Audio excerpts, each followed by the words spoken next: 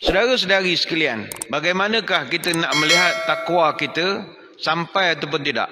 Ada satu checklist yang diberikan oleh Profesor Dr. Yusuf Al-Qardawi rahimahullah berkenaan tentang kesan Ramadan kepada kita para puasawan ini. Kalau kesan ini tidak ada, maka bolehlah kita pertikaikan ketakwaan kita. Pertama kata dia, antara checklist yang boleh kita tengok, nombor satu, seorang puasawan yang benar-benar dah mencapai takwa, dia ada rasa jiwa lebih bersih. Dia rasa jiwanya lebih ikhlas daripada sebelum daripada ini. Sebab Ramadan ini salah satu daripada modul yang Allah tetapkan di dalam latihan Ramadan adalah latihan keikhlasan. Modul ini tak dapat pada bulan lain. Sepanjang Ramadan kita diajar ikhlas menerusi puasa. Kita pagi ni, pagi cuti, kalau tuan-tuan pukul tujuh tadi sebelum datang masjid, buka peti air, makanan banyak. Anak tidur.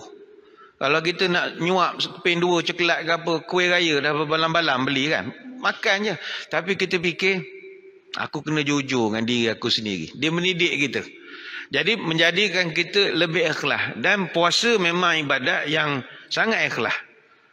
Bahkan kalau orang tak puasa pun kita tak kenal dia tak puasa. Puan-puan mungkin ada yang tak puasa. Kami tak tahu pun. Sebab puasa dia tak ada indikator. Kalau semayang ada tanda. Dah hitam macam-macam. Pakaian, pakai mengkana, pakai telekong. Oh ni orang semayang lah. Haji ada tanda. Nama pun ada haji. Name tag pun tulis haji. Kita tak ada tanda. Zakat ada resit. Orang pun boleh puji. Tapi puasa tak ada KPI. Dia tak ada indikator ukuran manusia. Tak ada. Orang boleh puji semayang ustaz. Dia semayang khusyuk ustaz. Kenapa pula? Oh tengok muka dia berkerut-kerut ustaz. Mana dia khusyuk. Dia sebut alhamdulillah tu bersungguh-sungguh. Walau bawal. Oh kita tengok eh, bersungguh pak cik ni semayang. Tengok ustaz orang tu malas semayang. Tangan dia bawah pusat. Malas artinya boleh diukur. Ustaz orang tu zakat bagus. Tak kedekut langsung. Apa sah? Zakat RM7 dia bagi RM50 keep the chain. Bagus dia ustaz. Tapi orang tu kedekut tu Ustaz. Dia tunggu juga orang amil tu mencari belen dia nak pulang. Kedekut ha, kita boleh hukum. Ustaz orang tu haji dia mabrur Ustaz. Apa sebab pula? Oh dia semangat Ustaz. Tangan dia melontar. Orang lain lontar jamrah biasa. Dia penuh drama. Orang lain lontar begitu. Ya. Dia Bismillah Allahu Akbar. Macam ada setan betul dalam tu. Bismillah Rajman Lissayatin. Ya. Oh cara dia baling tu memang drama betul lah. Habis tujuh biji batu, payung pula dia ambil. Pau, balik payung dalam tempat tu. Dengan selipur-selipur dia lempar, marah betul dia kesetan. Jadi orang boleh ukur. Ustaz yang ni haji, dorok cetong ustaz. Berapa pula? Semayang bilik yang malah. Tak haram pergi ke masjid dia ni. Jadi orang boleh ukur. Tapi puasa apa ukuran? Tak ada. Ustaz dia puasa bagus lah. Apa ukurannya? Dia lima minit sekali beludah Ustaz. Mana dia jaga. Nak telan liur boleh takut. Mana jaga betul. Tak. Bukan itu ukuran dia.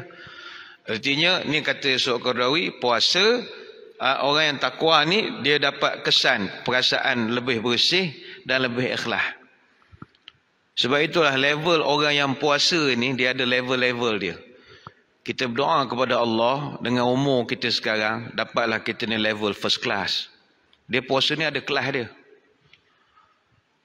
Kalau kelas ni kata Ibn Qudamah Al-Maqdisi dalam kitab Mukhtasar Minhajul Qasidin, kelas yang paling bawah namanya Saumul Umum. Saumul Umum ni fahuwa kafu batni wal farji an qada'i syahwah. Puasa level paling bawah. Orang yang puasa perut dan juga kemaluan. Dia jaga, dia jaga diri dia daripada jangan makan, jangan bergaul dengan isteri. Bagi kita tu hebat dah. Tapi itu level yang paling bawah.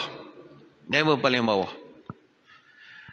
Dia puasa ni, kalau kita umpamakan puasa ni sebagai pesawat kapal terbang, tuan-tuan sebagai penumpang, tuan-tuan nak duduk kelas mana? Level kita. Kalau saumul umum ni, ekonomi kelas. Bukan kita hina ekonomi kelas. Tapi dengan level tuan-tuan sekarang M1, M2 punya level, takkan ekonomi kelas. Kong-kong bisnes kelas. Bisnes tu pun kecil. Bisnes premium. First class mahal sangat. Bankrupt kilang bayar kalau naik first class. Business premium lah. Takkan naik business takkan naik ekonomi kelas daripada sekolah naik business kelas. Eh naik ekonomi kelas. Ekonomi kelas ni tuan-tuan kalau kita naik kapal terbang, layanan pun biasa-biasa ya. Kalau naik ekonomi kelas, minta selimut sampai Kuala Lumpur tak dapat lagi. Naik ekonomi minta macam-macam. Selimut lah, bantal. Ingat pramugari nak melayan. Ekonomi kelas dia bagi air, air oren tu je dengan kacang. Tu wujud. Air panas jangan mimpi lah. Kopi, tea, ah, sedap sangat order. Boleh saya minta Milo? Kau ingatkan business kelas. Dia akan bagi alasan minta maaf kita ada turbulence tak boleh nak buat hot drink sepadai ke muka. Kau minum je lah air oren tu bergelas-gelas. Sebab ekonomi kelas. Layanan biasa-biasa. Cuba duduk business kelas. Baru duduk dia kenal lah kita. Apa khabar Encik Encik ada nak minum air apa-apa sebelum kita take off? Bagi tawa panas ada, tawa sejuk ada. Kan lain. Ha, sebab itu bila business class dia panggil saumul khusus. Orang yang puasa level khusus. Fahuwa kafun nazar wal lisan wal yad wal rijli wal sama wal basar wal sair jawadil anil asam. Orang business class punya puasa ini. Dia bukan lagi jaga perut dan tekak tapi dia jaga mata, jaga telinga, jaga segala panca indera. Maaf, orang kalau puasa saumul khusus, tak tengok dah Netflix bulan ni. Tak menengok dah Netflix, tak ada masa. Bukan bukan tak nak menengok, takut tertengok benda tak senonoh. Macam ni hari weekdays, eh, weekend, Sabtu Ahad, tak ada kerja. Ada orang tengok Netflix, awak puasa. Tapi mata tak jaga. Dia kalau orang betul-betul jaga, oh, Facebook pun tak berapa nak menengok siang-siang ni. Takut ternampak kan ada goyang-goyang dangdut lah apa. Kita tak ada terperangkap. Tapi bagi orang yang ekonomi kelas punya level, dia okey je. Eh, eh, eh, ah, eh, eh, eh, ah, tengok gaya perempuan dangdut. Bagi dia, ah, bukan aku kenyang pun. Ah, you level ekonomi. Kami level business. Kami kena jaga mata, telinga, Dengar orang ngumpat kita lari. Ha, ini level kafun nazar wal lisan wal yad. Ini orang yang level business class. Tapi kalau lagi bagus, naik level first class. Oh ini lagi sedap. Level first class ni dia panggil saumul khususil khusus. Orang puasa first class ni saumul qalbi anil hamimat daniyah wal afkari mubaidati anillah wa kaful amma siwah. Orang puasa first, first class, saya ingat tuan-tuan perempuan ada dah level ni, cuma tak perasan. Orang puasa first class, dia telah puasa hati. Bukan panca indera lagi. Dia puasa hati daripada cita-cita remeh. Puasa first class, dia tak peduli biryani lamb shank ni bagi dia remeh. Remeh. Dia bukan level nak kaji mana murtabak cheese leleh. Remeh. Bagi dia remeh. Bukan kita kata benda tu tak bagus. Kalau orang meniaganya ayah pula 22 tahun tak meniaga. Ustaz main kempen matilah kita orang. Tak, kita ceramah nak cerita level. Yang beratur panjang start pada Zuhur itu ekonomi kelas. No problem. Silakan. Tapi tuan-tuan puan-puan yang dah first class makan buka agenda lagi. Itu dah level first class tu. Dia dah tak, tak dia tak ada kisah apa makan apa.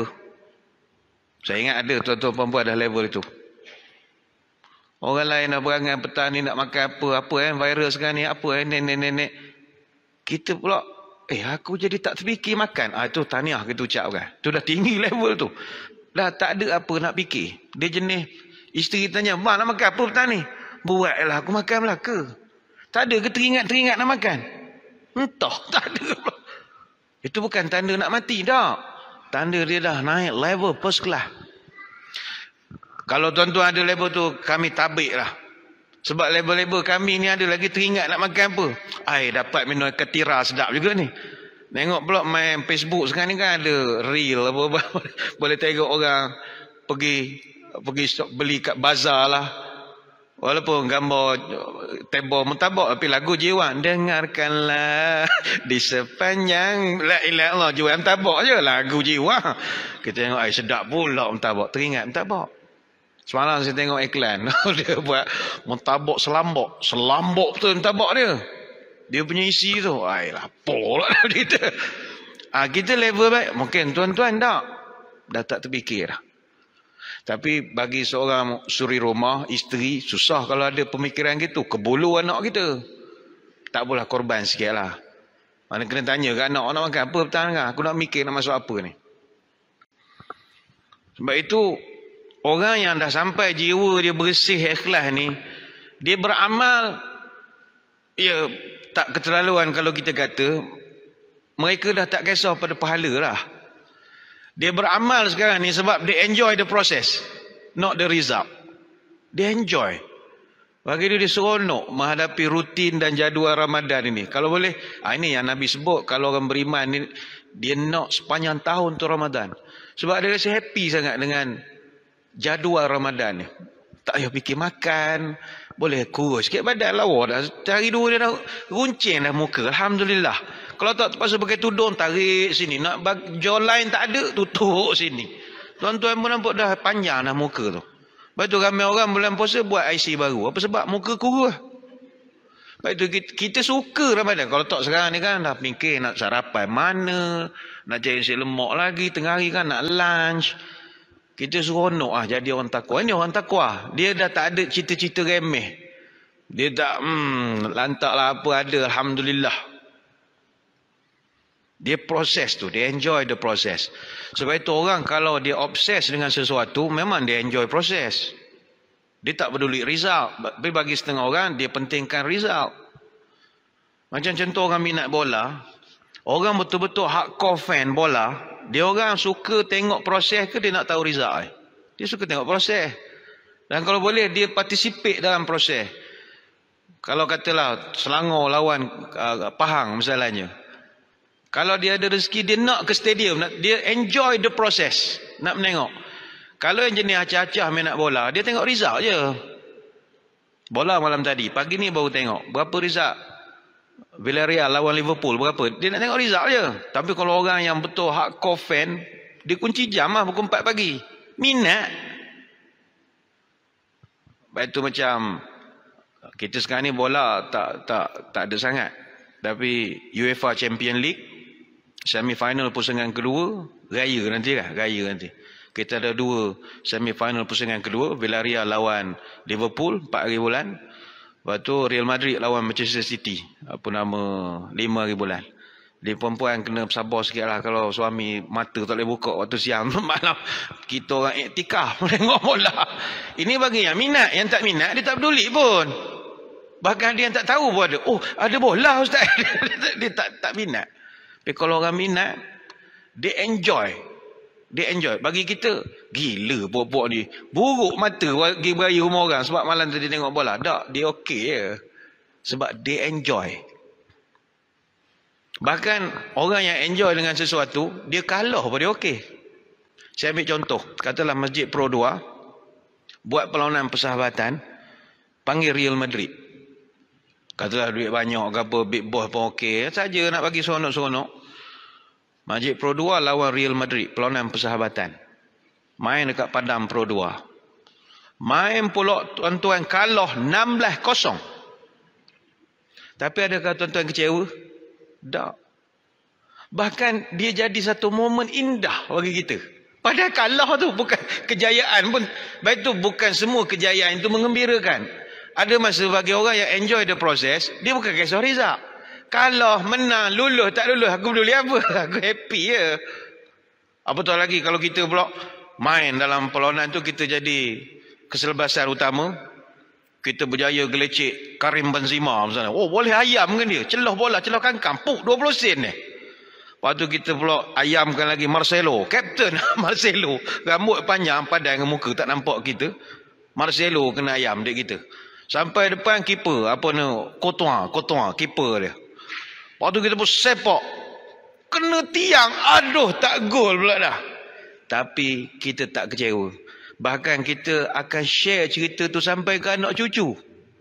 Aki dulu. Lawan Real Madrid. Ha, jangan main-main ni. Nampak je orang tua ni.